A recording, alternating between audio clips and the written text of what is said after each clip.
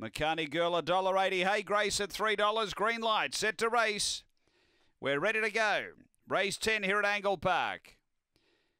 They're racing. Pace coming in the middle. Alinga Lorraine's going to carve over and grab the front early from Hey Grace. Out wider is Pure by Design and McCartney Girl. Uh, then came Miss Bunty and Ripplebrook Snip. Up front though, Alinga Lorraine out by two to Hey Grace. And behind those, Ripplebrook Snip. It's Alinga Lorraine in front. Of Hey Grace charging through. Hey Grace has beaten Alinga Lorraine, Ripplebrook Snip, McCartney Girl, uh, Miss Bunty, and Pure by Design. The time here is around 19 and 70. Race 10 and uh, Hey Grace, number two for Brenda Oakey, has got the prize. Number two, first Hey Grace. Uh, second to four, Alinga Lorraine, who led for a lot of the way. And uh, third to one, Ripplebrook Snip for Bob Isaacson.